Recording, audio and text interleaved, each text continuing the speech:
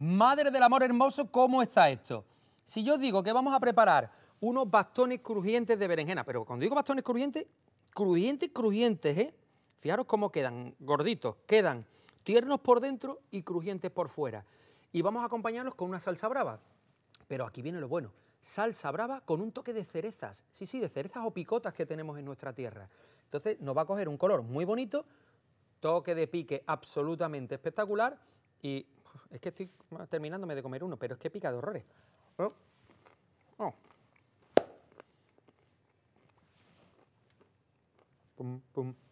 ¿Se me ven los ojos como dos faros? Pica, eh, le he puesto mucho pique. Nos vemos esta tarde a las 8 menos 10 en Canal Sur Televisión y esto es muy fácil, si nos da tiempo, sorpresa para el programa de esta tarde.